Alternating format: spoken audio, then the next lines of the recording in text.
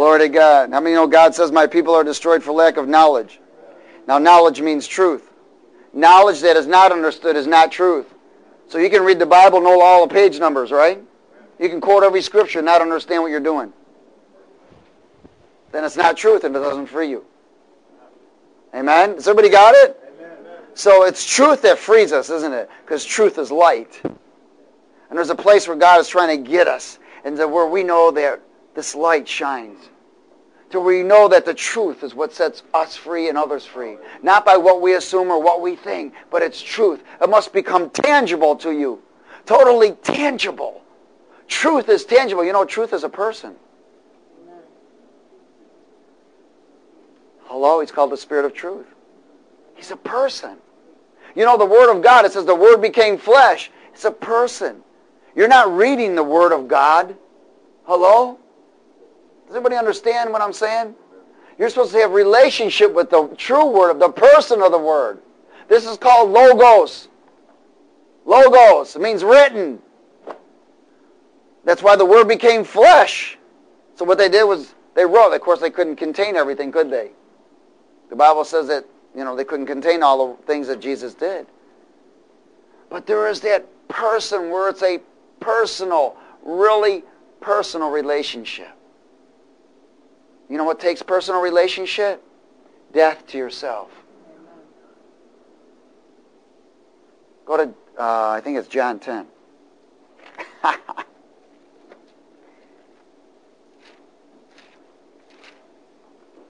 John chapter 10.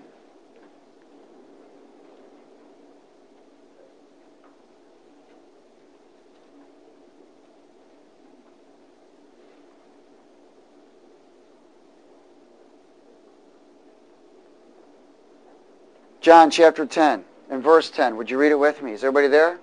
Amen. Glory to God. The thief does not come Except to what? Steal. And kill and to destroy. Who's the thief? Satan. Satan and his kingdom, right? He doesn't come but to kill, to except to steal, kill, and destroy. How many of y'all know that? How many have, has it been happening to you? that means the enemy's after you. You know why the enemy's after you? Because he sees the hand of God on you. He doesn't have to try to kill the ones that are already serving him. He's trying to kill the ones that aren't. Does everybody understand that? So, you know, so many times so many people come to the Lord and they go, man, you know, I've never had so much trouble in my life. Of course not. Before you were the trouble. Now the trouble's coming against you. There's a difference. the thief does not come except to steal and kill and destroy. Jesus says, but I have come that they may what? Have life and that they may have it more abundantly. How many of y'all know what God wants to have you? He wants to give you an abundant life. And it's just not about filling your storehouses with cash so you can retire. It's about abundant life. Abundant life is freedom. Total freedom is abundant life. A place where you can totally trust God no matter what. Where you ain't trying to fix it where you're in that place where you're not moved by circumstances, but circumstances are moved by you. There's that place where it's no longer you that live, but he that lives. It's that place where God is trying to bring us to where we can have abundant life. Totally abundant. It's not about financial abundancy. That's a part of it. That comes, you know, there's a lot of people who are blessed financially. You know what? But they're miserable. Amen? Amen. That's not what it is. Abundant life means abundant life in the Spirit. In the Spirit, where there's that freedom, where there's that flow of the Spirit, where there's that move of the Spirit, where you're listening to the voice of God, where you have that relationship, where you know when things are happening, you can give each other a high five. Because there's a relationship. Well, you know that he's not only daddy, but he's mommy, he's sister, he's brother, he's friend, he's teacher, he's comforter, he's healer and deliverer. Where you're in that relationship, this is abundant life because when you now are associating with a tangible life giver, and that can only be given when you die. Turn to John 12 while we're here.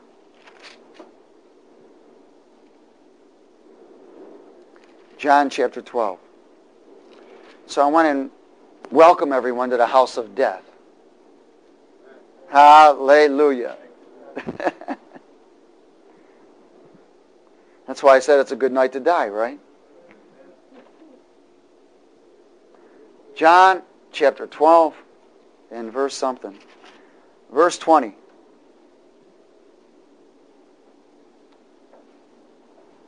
Now there were certain Greeks among those who came up to worship at the feast. They were coming up for the feast. Everybody there? Then they came to Philip, who was from Bethsaida of Galilee, and asked him, saying, Sir, we wish to see Jesus. And Philip came and told Andrew, and in turn Andrew and Philip told Jesus. But Jesus answered him, saying, The hour has come that the Son of Man should be glorified. Most assuredly, I say to you, unless a grain of wheat falls into the ground and dies, it remains alone. But if it dies, it produces what? Much grain. He who loves his life will lose it. And he who hates his life in this world will keep it for eternal life. If anyone serves me, let him follow me. And where I am, there my servant will be also. If anyone serves me, him my Father will honor.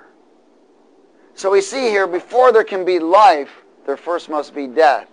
So tonight's teaching is out, or life, it's called life out of death. Life out of death. Because there is life out of death. There's life out of your death. Is everybody with me?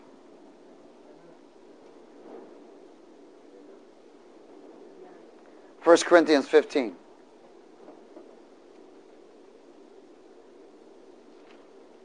Life out of death.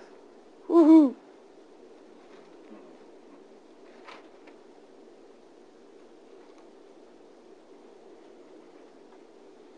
First Corinthians chapter 15.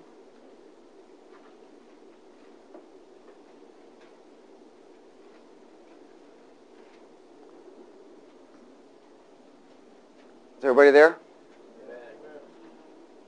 Uh, in verse 35.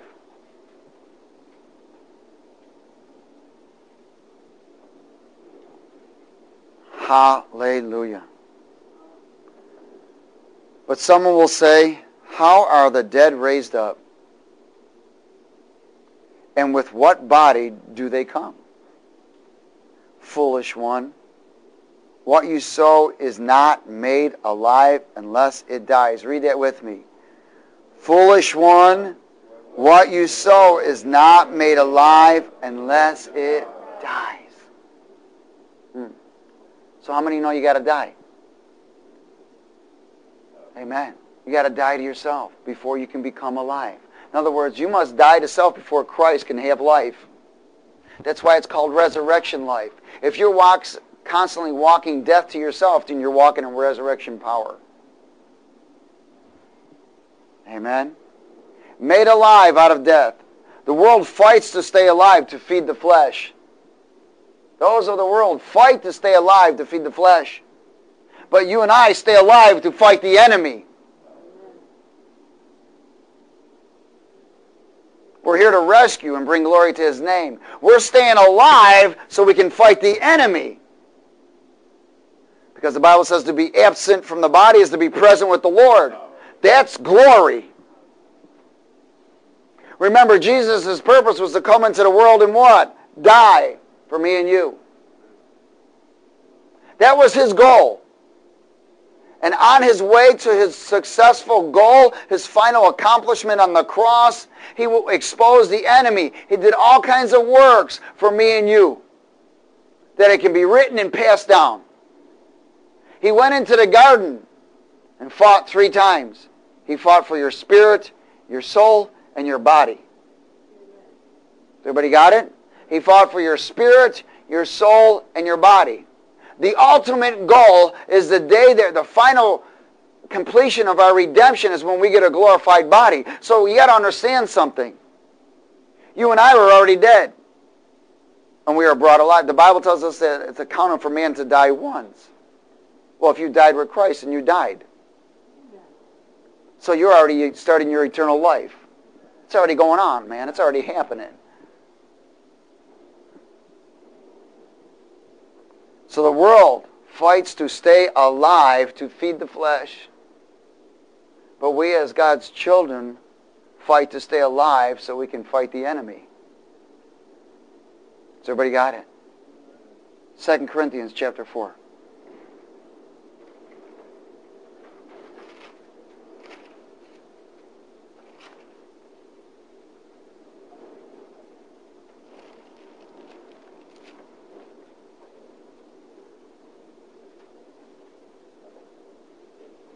Second Corinthians 4.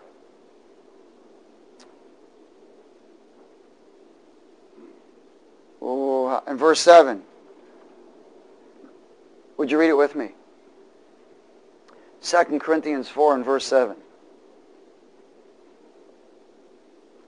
But we have this treasure in earthen vessels. Who's we? The body of Christ, right? All of us here. We have this treasure.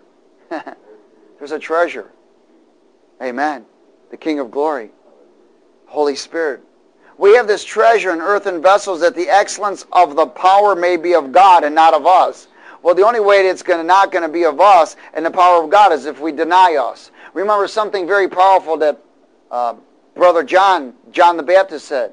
When Jesus showed up on the scene, he said, what? I must decrease that he can increase. He wasn't kidding. I must decrease that he can increase. In verse 8, we are hard pressed on every side, yet not crushed. We are perplexed, but not in despair. Persecuted, but not forsaken. Struck down, but not destroyed. Always carrying about in the body the dying of the Lord Jesus, that the life of Christ also may be manifested in our body. Now listen. We're made of three parts. Remember, Jesus paid the price. He prayed three times. He had to die three times in prayer. Remember, three times he went and prayed before he went to the cross. Remember when he said, Father, if it's possible, let, me, let this cup pass me by, but not my will, your will. He said it three times. So you and I are made of three parts. Spirit, soul, and body. Your spirit communes with the spirit world and God. Your soul interprets what's being spoken in communion. And your body does the works. In other words, what you hear, what you what you hear is translated and interpreted, and then your body does it, right? So it says here, so that the life of Christ also may be manifested in our body. Why? Because your spirit communes, your soul interprets, and your body does the works. It's the one that's submissive. It's the one that's moving. It's the one that's going. But who's motivating it? The Spirit of God or the unclean spirit. One or the other. So by you denying yourself, you're allowing the Spirit to motivate you. Does everybody understand that? As you deny yourself, you're allowing the Spirit, the Holy Spirit, to motivate you. That's called death to self. Death to self. Power of God be not us, but of the Holy Spirit. So the life of Christ can manifest in our body, right? So that means the only way that the power of God is going to truly manifest through us is if we die. Didn't the power manifest through Christ? How? He died. Then he what? Rose. Resurrection power. So we see one of the first things that has to happen is we must die to self. You know, God does not commune with self. He communes with his child. He doesn't commune with self. Self is woe is me, me, me, me, and then more me. And when that's done, me, me, me, me, me, me. Then it goes, goes from me to I. So death to self must be a every day, every decision, everything you're going to do Every move you make must be a death to self. Self cannot be involved in it. Does everybody understand that? In other words, what's, how, what am I going to get out of it? Jesus did not come to take, he came to give. And that's how you and I got to live. So that we live according to Christ. You know, we all started this walk by saying, I'm letting go and letting God. We really didn't know who God was. But we, we knew he was out there somewhere. I mean, that's how I started my walk. All right, I'm letting go and letting God. Everybody said, man, you need to let go and let God. So I did. But I meant it. Because if I, I was like, if there's really a God out there, I'm letting go. Because I know that this life I've lived is nothing but destructive to myself and to anyone I got around. My only escape was death. So if I got to go meet my maker, I better get things right. So I'm letting go and letting God. As I began to continue to do that, I began to get honest. Guilt began to leave. I began to stay honest. I'm letting go. No matter what came across my path, I would want to, I want to fix this. Nope, nope. I'm letting, I'm not putting my little dirty paws in anything again. I'm letting go and I'm letting God. Didn't know who he was. He probably heard it so many times, he said, man, I got to go visit this kid. If I hear this one more time, I'm letting go and letting God. It's it. I'm down there. Was a constant letting go, letting God. My carnal understanding was out in left field. But I knew that there was something more. I knew there was something I was supposed to do. There's something more about this life. Something more. I couldn't figure it out. I didn't know what it was. So you know what I did? I let go and I let God. I still don't know what I'm supposed to do or what I'm supposed to be when I grow up. But right now, this is what God has put in front of me. I'm not concerned what I'm supposed to do. I don't live on a need to know basis. I live in faith. If he says it, I believe it. He says if I acknowledge him, will establish my steps. That's letting go and letting God. He says if I give him my works, he'll establish my thoughts. I'm letting go and letting God. And when that conviction comes, we must let go and let God. When that guilt comes, we better find out where it came from. Hello? God doesn't put guilt on us. He puts conviction. He doesn't put condemnation on us. He puts conviction. Conviction is much different than guilt. Guilt hounds you and weighs you down.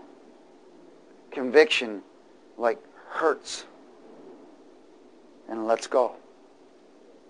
Hurts, then let's go. And it's a gentle nudge. Come on, you know you're supposed to do this. Come on, you know, you know what you're supposed to do. That's conviction. But guilt and condemnation goes, bam, beat you. But my daddy's not a beater. He's a rescuer.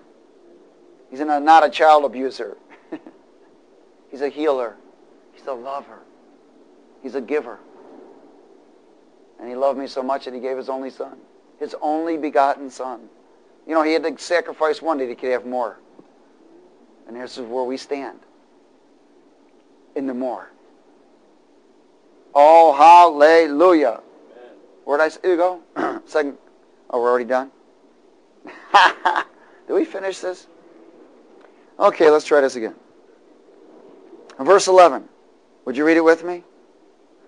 For we who live are always delivered to death for Jesus' sake, that the life of Jesus also may be manifested in our mortal flesh. So then death is working in us, but life in you. In other words, as death, if you're constantly dying, then life is manifesting. Does everybody got it? So then there is life out of your death. Everyone say there's life, life. Out, of my death. out of my death. Say that in the morning when you get up too, okay? Romans 6. Hallelujah. Romans chapter 6.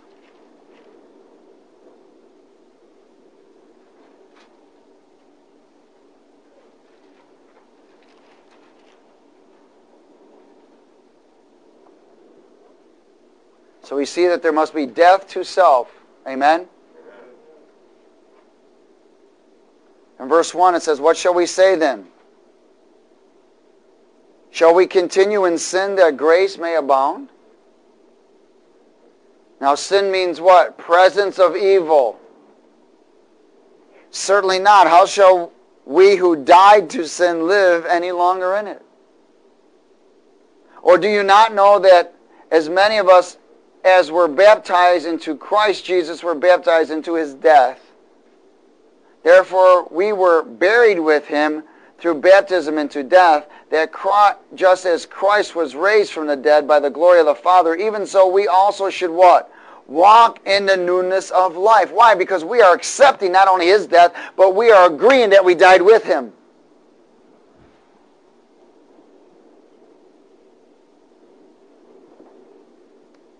Verse 5. For if we have been united together in the likeness of his death, certainly we also shall be in the likeness of his resurrection. Why? Because death to self brings resurrection power, total power. You know what the power is? To become a witness. You know what the power is? Is to say no to temptation. You know what the power is? Is to say yes to him.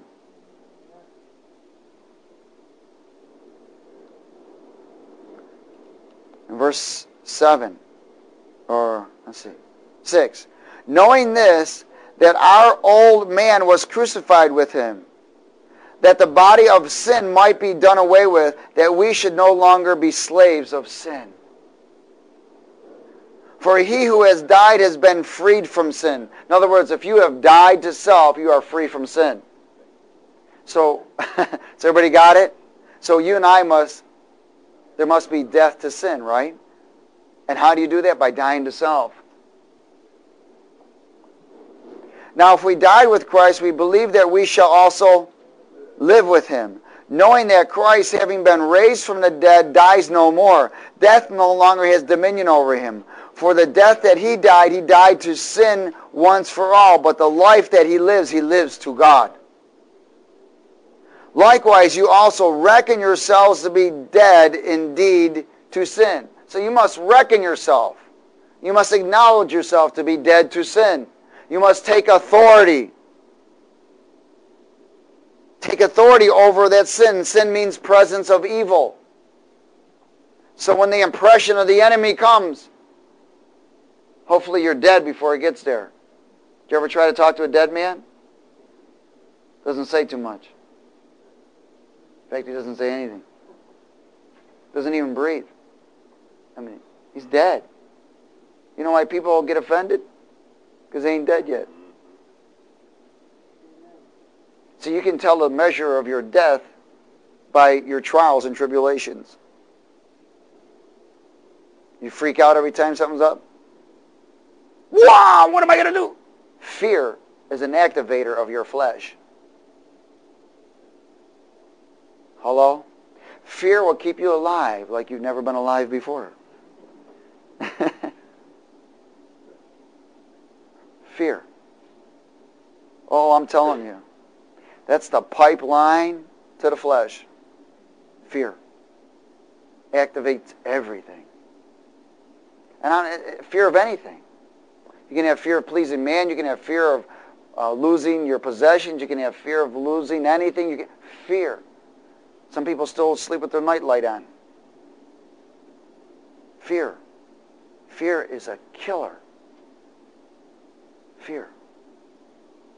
It's amazing that, you know, one of Satan's greatest weapons is deception and his power is what? Fear. fear. So if his power is activating in you, then the power of Christ is denied. Has everybody got it? Satan's power is fear. If fear is activating in you, then it's denying the power of Christ. That's why we must constantly deny ourselves so that the power of Christ can be manifested.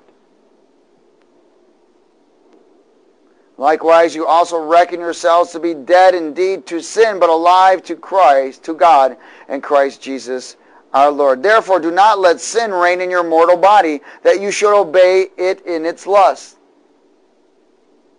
So it's our responsibility not allow it to have dominion in us. How do you do that? You stay dead.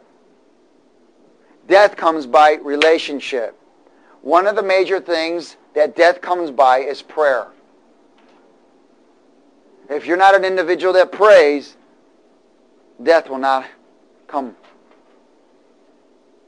Prayer produces death because prayer is communion with God.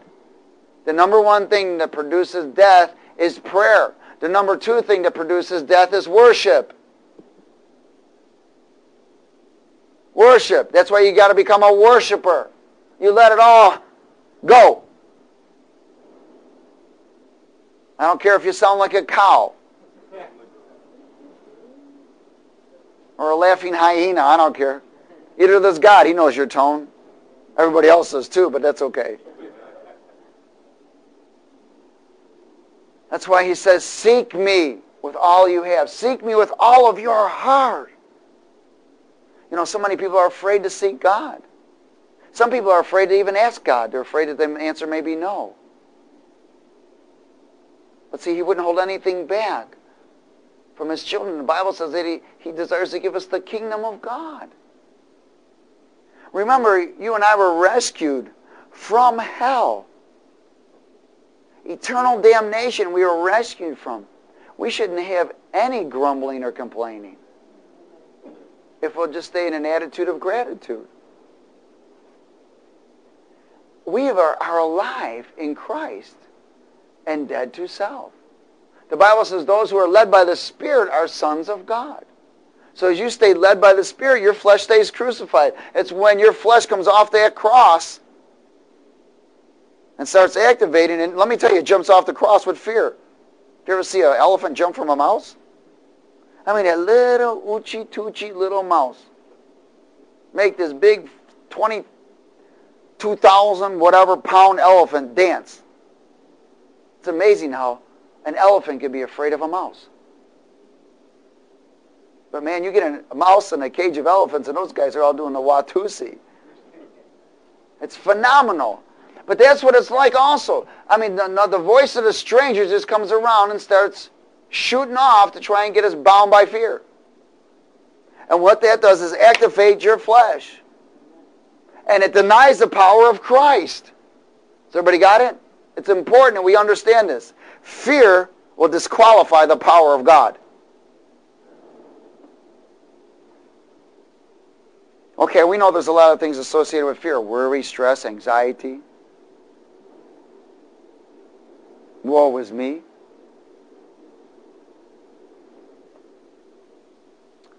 Oh, hallelujah. Go to Colossians chapter 3. Glory to God.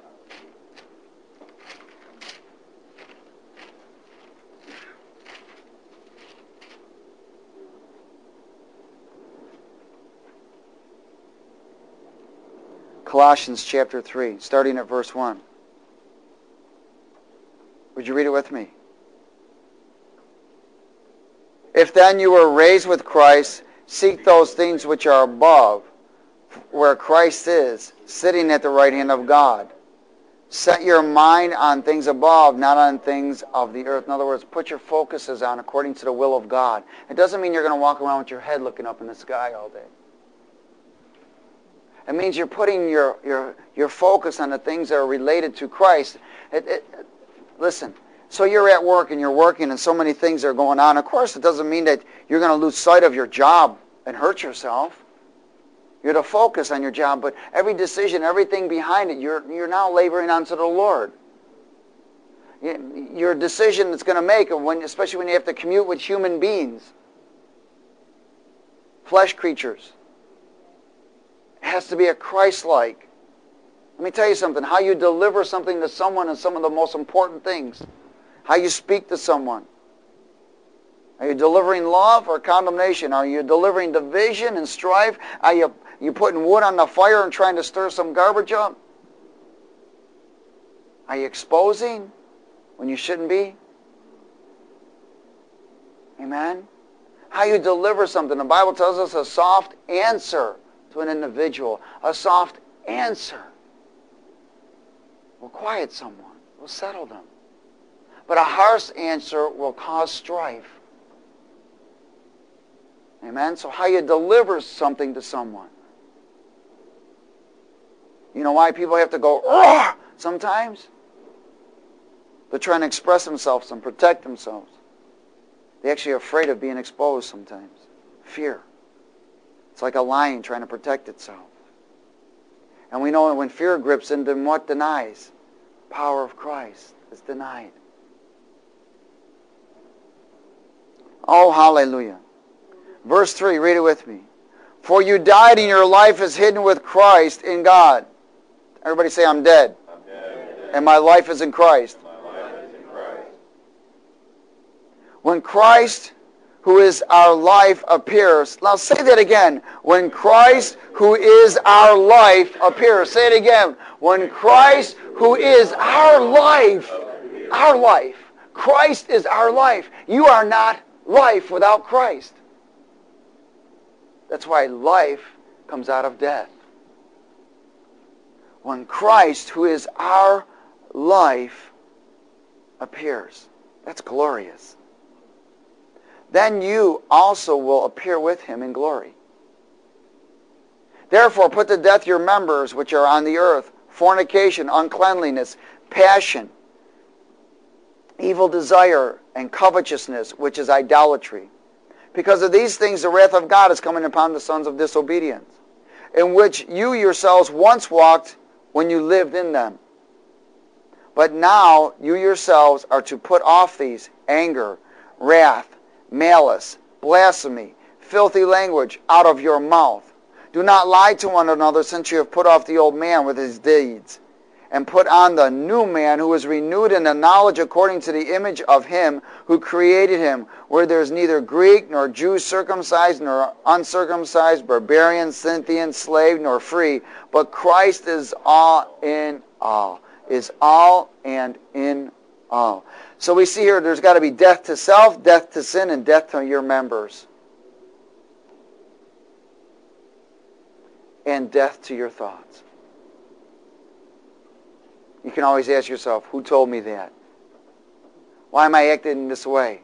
What do I have this desire? Who told me that?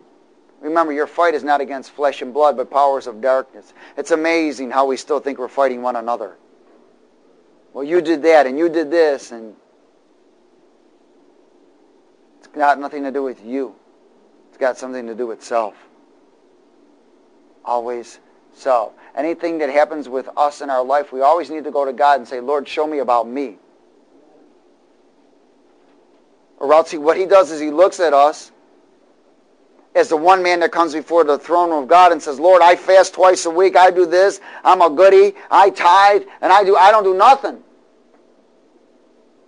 And the other man comes up and beats his chest and says, Lord, have mercy upon me. God looks at the one that says, Lord, have mercy upon me. Not the other one who would boast of what he does. Amen. Has everybody got that? Amen. The Bible says, humble yourself in the mighty hand of God and he will exalt you. And it says he resists the pride, the proud. He resists them. So become, we, you and I must become accountable and responsible. It's nobody else's fault the way we're do, what we're doing. It's ours. We're the one that make the final decision, don't we? We're the one that make that choice. You and I could be either miserable or happy. We could blame everybody else for our garbage and of our past or even our circumstances around us. We can even begin to blame people for our future. Yeah, well, such and such wouldn't have done this. I wouldn't be in this circumstance. I get many people that come to my class in jail. Well, I was just at the wrong place at the wrong time. I said, well, you're at the right place at the right time now. so you did something right. Praise God. Hallelujah. So there must be death to self, death to sin, death to your members, and death to your thoughts. 1 Corinthians chapter 6. Is everybody all right? Are you getting it? Death comes by prayer and relationship. Death comes by worship. Death comes by revelation of God's Word from His Spirit, where He begins to expose us. 1 Corinthians 6. Oh, hallelujah. Um, verse 15, I think. Yeah.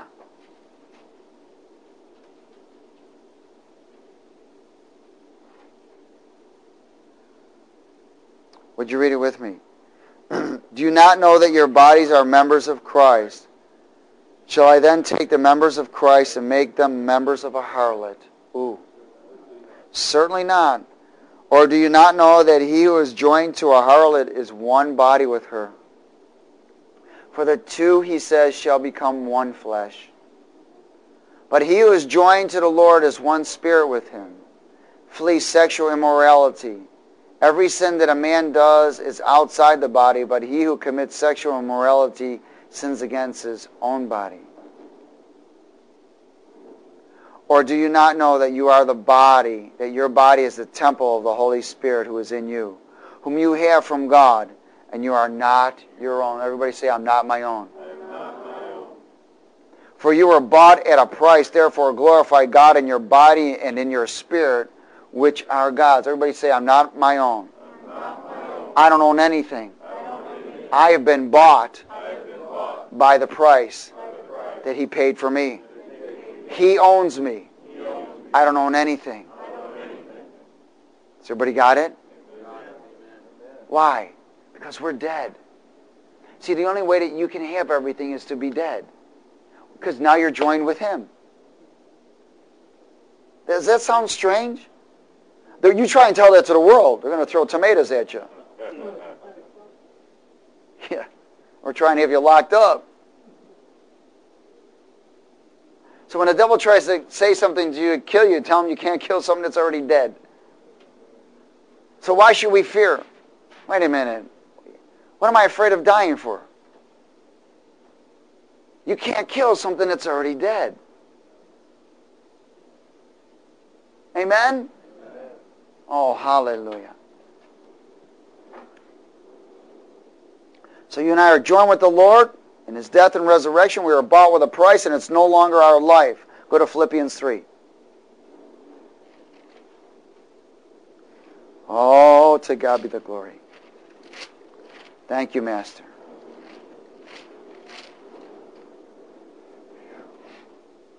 Philippians chapter 3.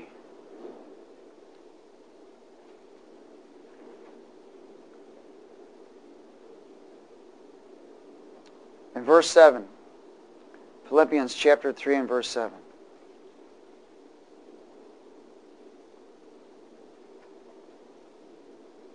Anybody got a page number?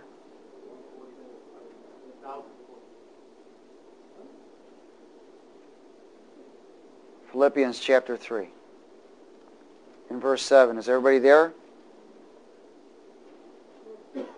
Glory to God. Would you read it with me?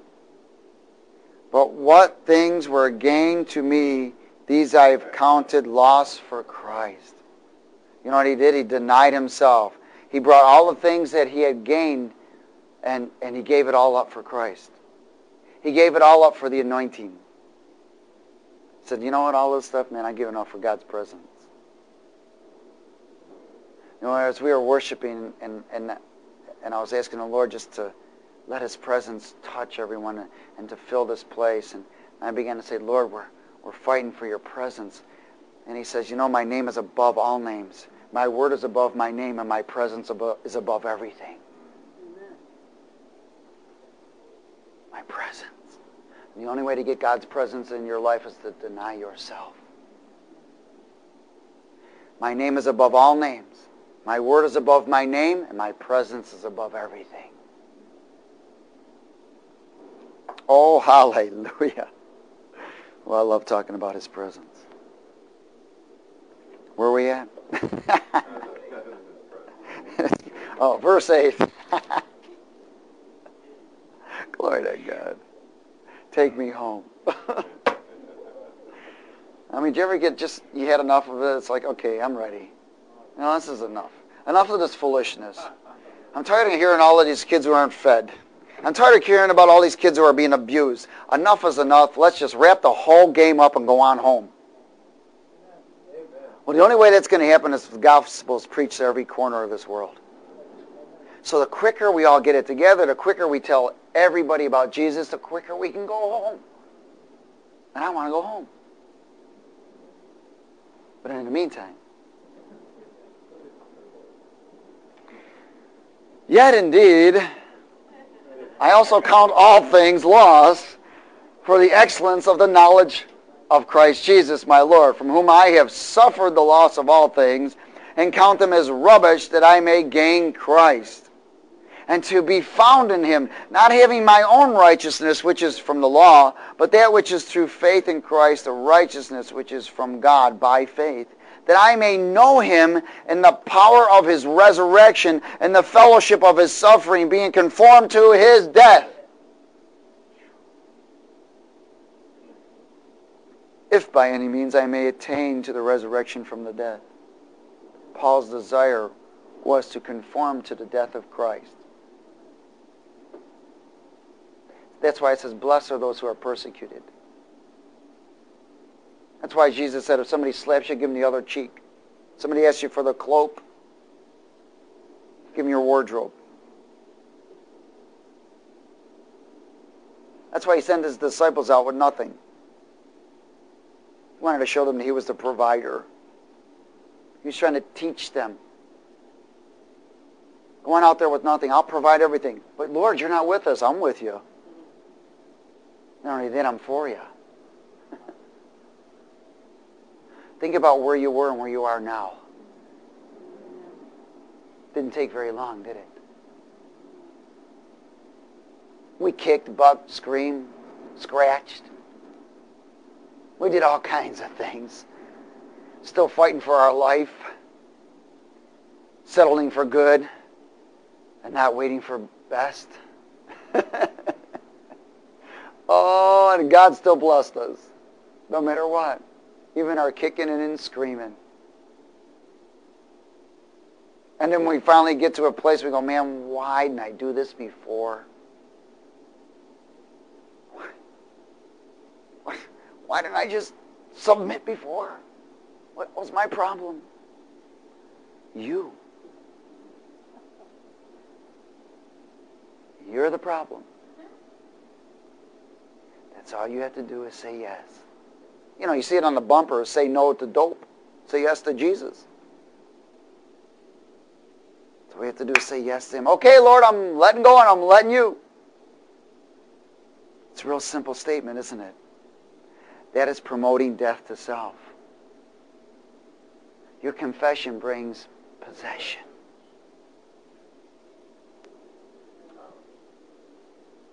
So that we may have the fellowship of his sufferings being conformed to his death. Please turn the tape over. That's death.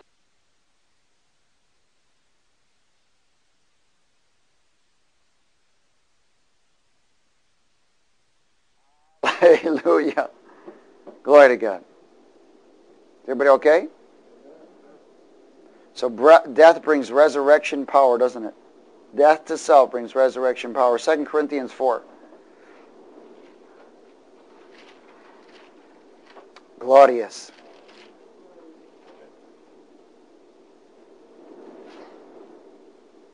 Second Corinthians 4. You know, sometimes God has you wait. He purposely delays things so that you can die more.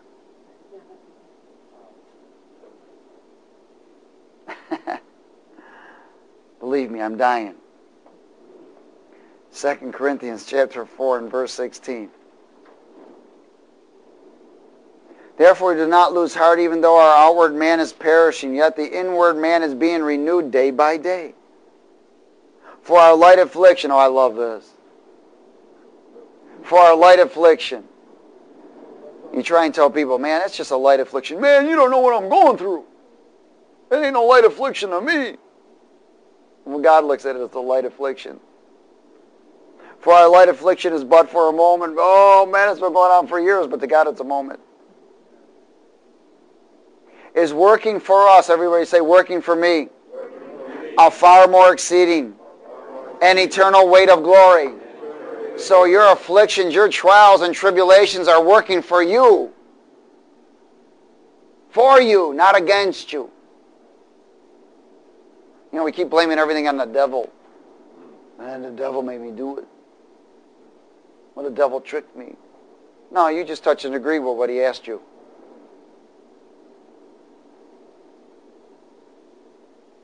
While we do not look at the things which are seen, but at the things which are not seen.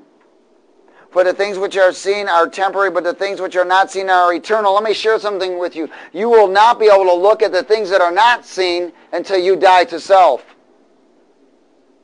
Death brings sight. Does everybody understand? In other words, you can't see the things in the spirit realm until you become dead to self. You remember what happened to Saul? He got slammed off his horse. He ended up fasting for three days. He had no choice. Couldn't find where the spoon went. He was blinded. God did not allow him to see the world. He did not allow him to rely on what he could see. For three days, Saul knew that he had met God, Jesus. He didn't know what to do. So he stayed in the house, waited three days, and prayed. And the Lord sent his servant, laid hands on him. He, Paul got filled and baptized with the Holy Ghost, and scales came off of his eyes.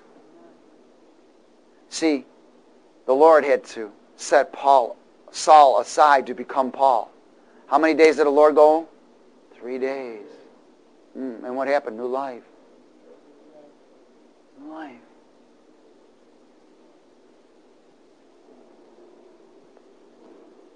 Sight comes by denying yourself. You cannot see the things of the Spirit while you're mixed up in the flesh.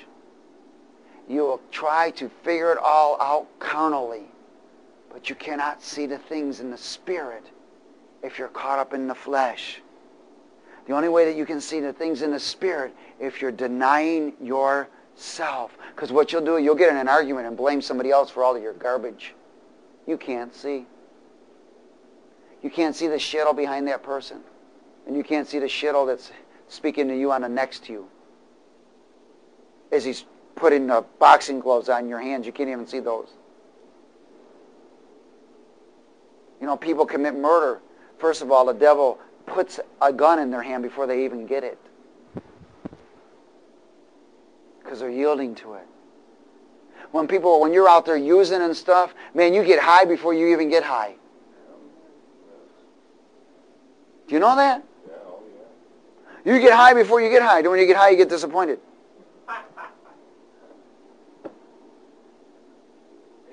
Come on. The only excitement we had is when going to go get the dope. After we got it, it was downhill. Everything was gone. And then we tried to, I mean, then the excitement came back again. Okay, let's go get the dope. Yeah, all right, everybody get together, put in their two cents. Everybody tries to split a little piece.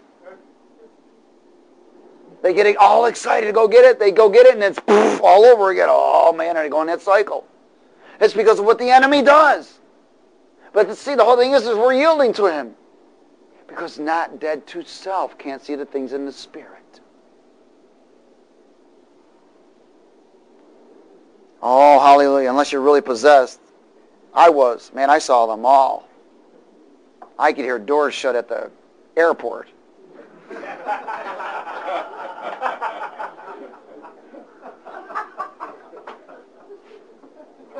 Hallelujah. I knew what was going on in China, let me tell you.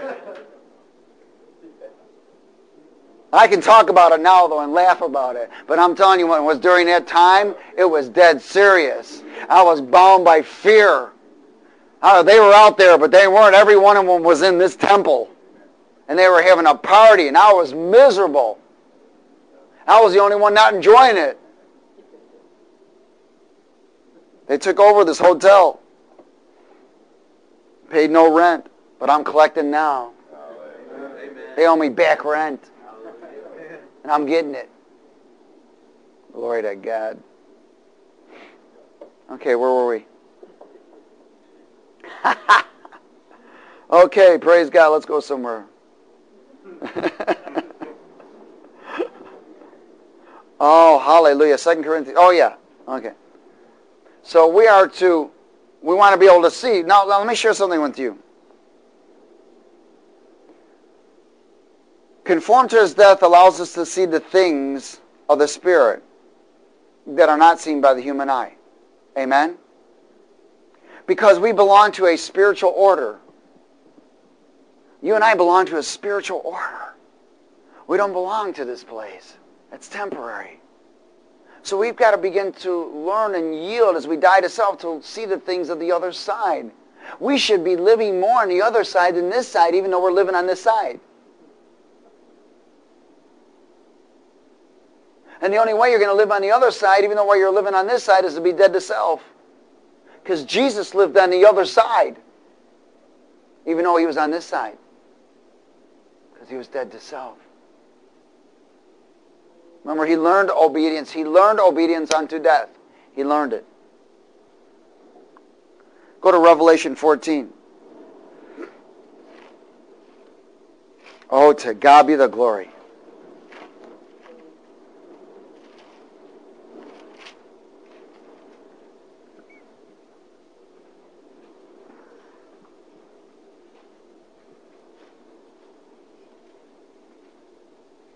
Revelation 14.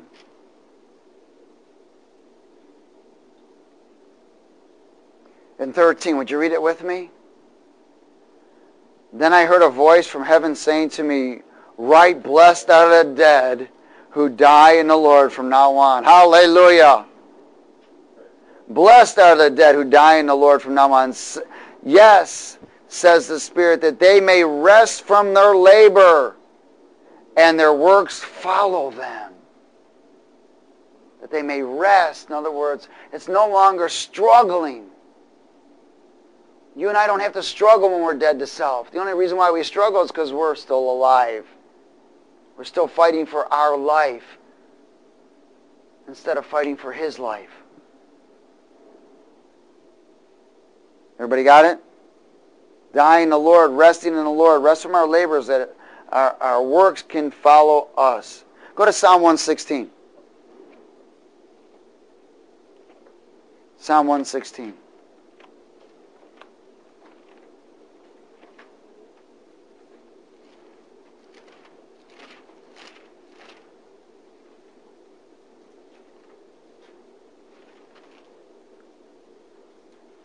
In verse 15, I think. Oh, you're going to love this one. Psalm 16 and verse 15. Come on, everybody read with me. Highlight it, parenthesize I don't care what quotes it. Rewrite it. Come on, read it with me. Is everybody there? Precious in the sight of the Lord is the death of his saints. Say it again. Precious in the sight of the Lord is the death of his saints. Ooh. That's precious in his sight that you and I deny ourselves. You know, many, you know, many people go back and try to reconcile themselves to their families because of the guilt and condemnation, and they, they feel they need to make it all up and all this other stuff. You know what? They're not dead. They are not dead. They're not allowing God to build the house. Unless the Lord builds the house, we labor what? In vain. That's what got us in trouble from the whole beginning us trying to fix things, us trying to do things. There's got to be a place where you and I are dead to total self, to where God begins to move us and we don't move ourselves. That's why people go ahead of God. That's why people marry individuals and, and things get messed up. That's why people go to jobs and get the wrong jobs. That's why people buy the wrong cars, buy the wrong homes, and do all kinds of stuff. You know why? Because they can't wait on God. because they're too alive. They'll take good instead of wait for best. But precious in the sight of the Lord is the death of his saints. It's precious. Go to Proverbs 14.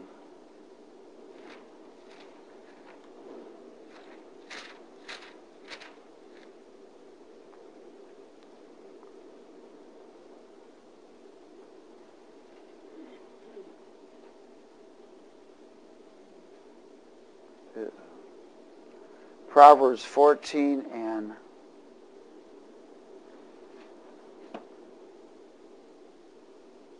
Proverbs 14. Uh, I think it's verse 32. Yes. The wicked is banished in his wickedness, but the righteous has a refuge in his death.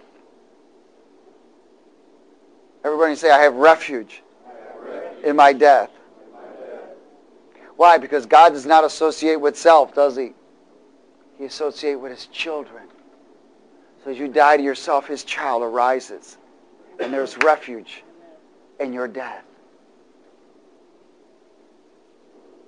Go to Romans 14.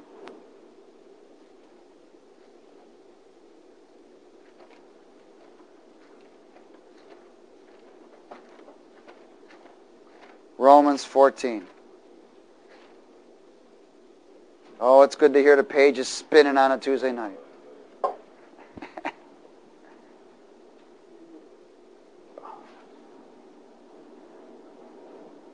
Romans 14. Thank you, Master. Is everybody there? In verse 7. Read it with us. Read it with me. It's me and the Holy Ghost up here. It's okay.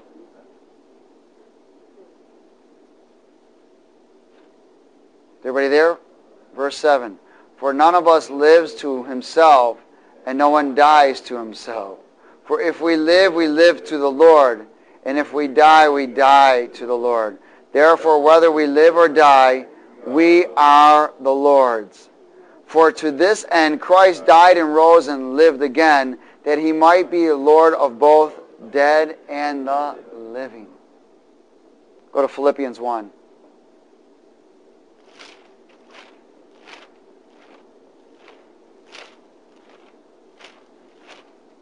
Philippians chapter 1.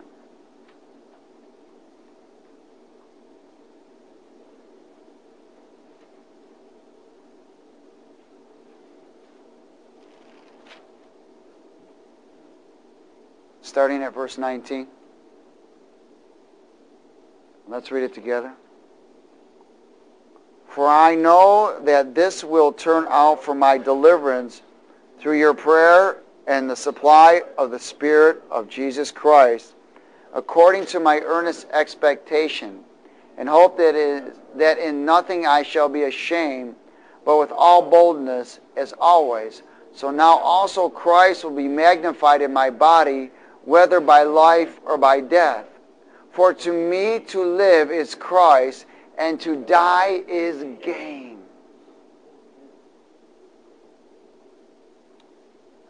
Go to Isaiah 58.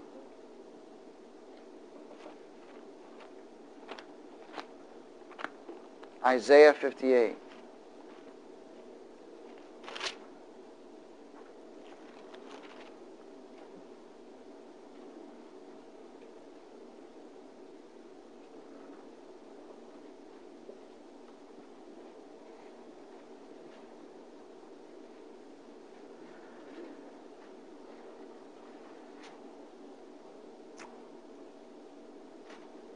Isaiah 58 and verse 6.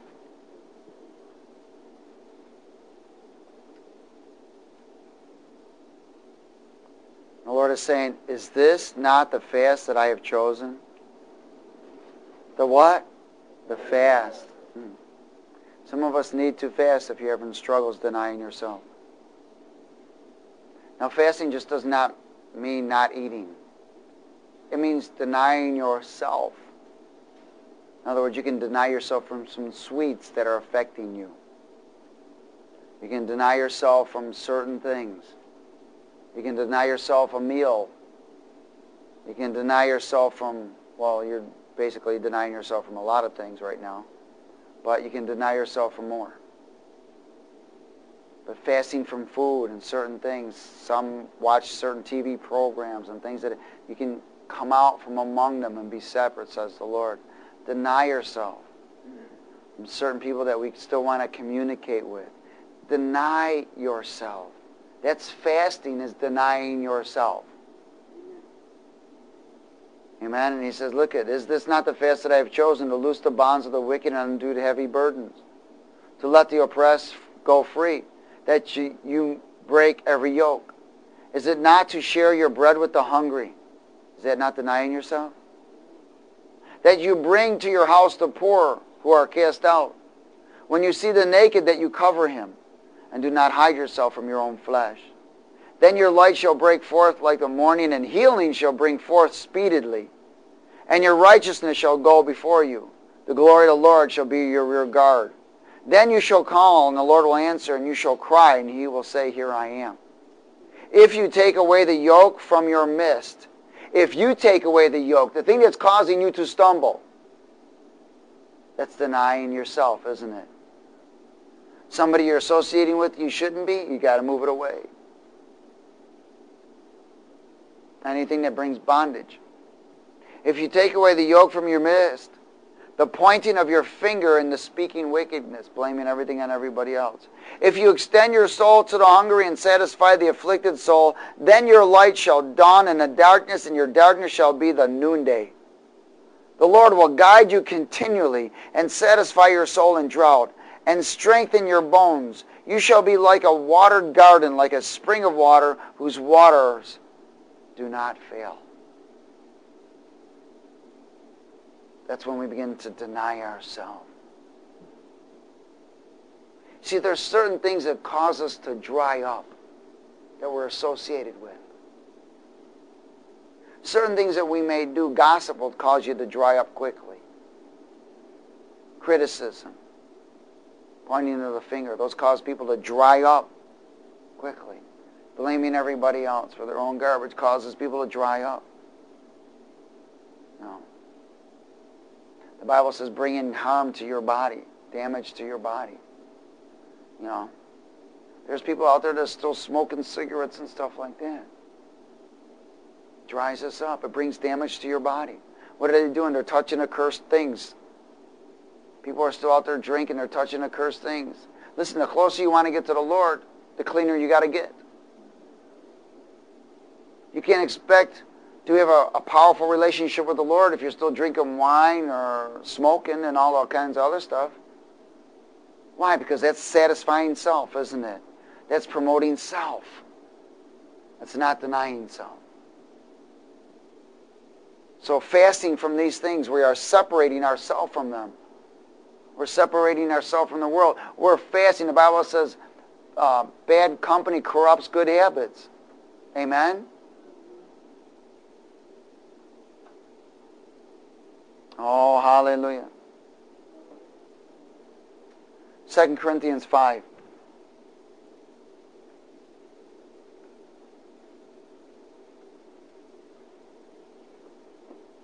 Second Corinthians chapter 5.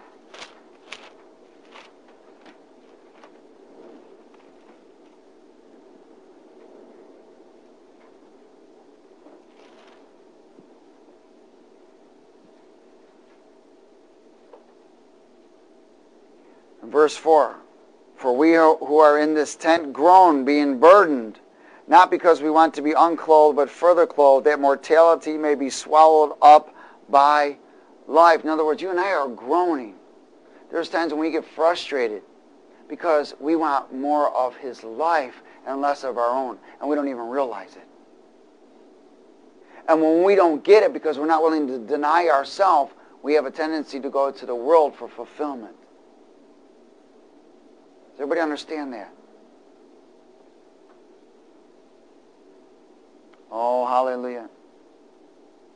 He wants this life out of our death. He wants his life out of our death. Amen? Go to Romans 13.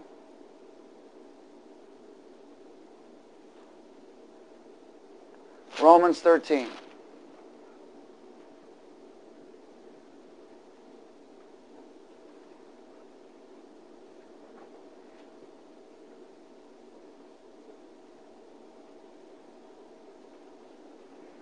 Thirteen eleven. Glory to God.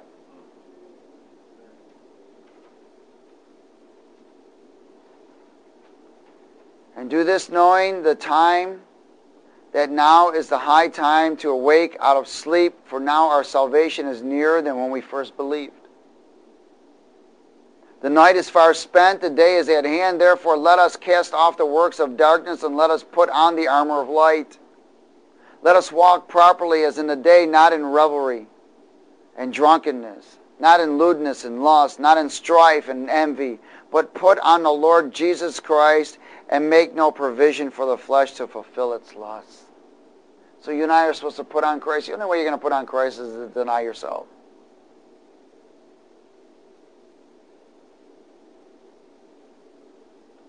First Peter 4. First Peter chapter 4.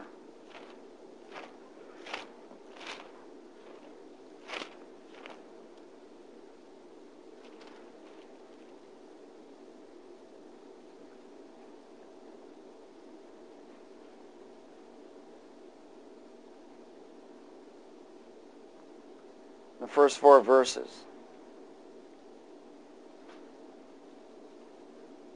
Therefore, since Christ suffered for us in the flesh, arm yourselves also with the same mind. For he who has suffered in the flesh has ceased from sin, that he no longer should live the rest of his time in the flesh for the lusts of men, but for the will of God. For we have spent enough of our past lifetime in doing the will of the Gentiles, when we walked in lewdness, lust, drunkenness, revelries, drinking parties, and abominable idolatries. In regard to these, they think it strange that you do not run with them in the same flood of dissipation, speaking evil of you. Hey, listen, they're going to come against you because you're no longer you're denying yourself. They're going to call you self-righteous. Well, since you how since when did you become self-righteous? Since you began to eat from the tree of righteousness. And it's not self-righteous, it's called righteousness. The world does not know what righteousness is. They only know what good and evil is. They don't know what righteousness is. They can't understand that they're blinded to righteousness. But they know what good and evil is. And many people try to do good. They give to UNICEF, they give to occults, they give, you know. They don't even know what they're doing. They're thinking they're giving to some good charitable group when half of that money is going out to the terrorists who are killing people. They don't even realize it. You know why? Because they don't know the fruits of righteousness. They only know what is good and what is evil. And if they can't discern what is evil, they think it's good. But evil comes in the deception of good. That's why many people, you try to talk to them about the Lord, man, don't you need Jesus? No, I'm a good person. Good people go to hell. Go to hell. Only those who eat from the tree of life shall have life. Those who eat from the tree of the knowledge of good and evil shall die. Oh, hallelujah. For we have spent enough of our past lifetime in doing the will of the Gentiles. Amen? And regard to these things, they think it's strange that you no longer follow the way they did because you're denying yourself. And they're living on whatever feels good, do it. Hallelujah. Praise God. I'd like to go to 1 Peter 5 while we're here.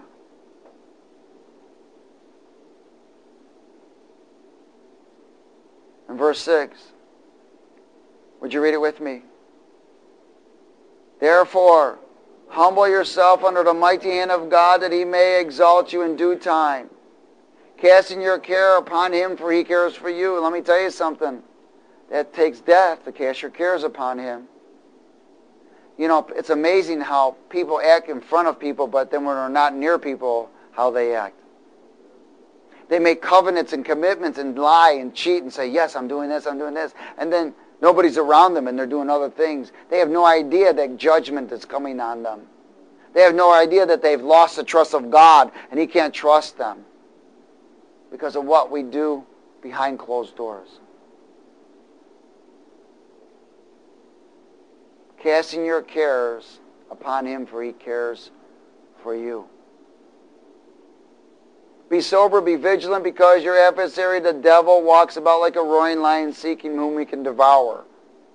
And he is looking for someone that is not willing to deny themselves. He's looking for someone that's not willing to cast their cares on. Did you ever notice sometimes people's fruits begin to change? You know why? They're holding on to something. They're not willing to cast their care. They're trying to fix something in the flesh, and the enemy is now deceiving them, actually convincing them. They become rebellious, and rebellious is witchcraft. Then they try to manipulate. They lie. They, and, and sin builds, builds, builds, and builds and builds, so finally they fall. Or they run from their circumstance. They give up on God. They don't grab hold of Him anymore. They let it go. Oh, hallelujah. Turn to 1 Corinthians 9, please. 1 Corinthians 9. But you can't give up. When God begins to expose, you got to let it happen. Why? That brings death to self, doesn't it?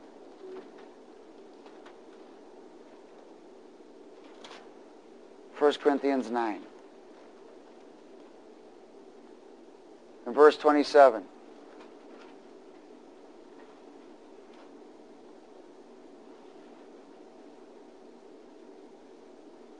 Would you read it with me? But I discipline my body and bring it into subjection, lest when I have preached to others, I myself should become disqualified.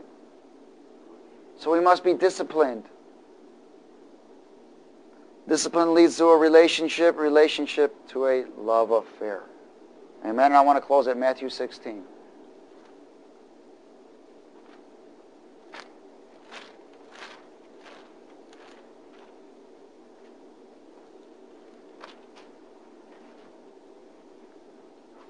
Matthew 16.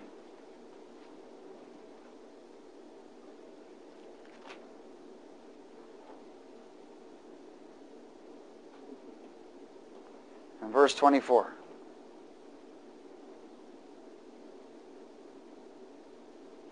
Matthew 16 and verse 24. Is everybody there?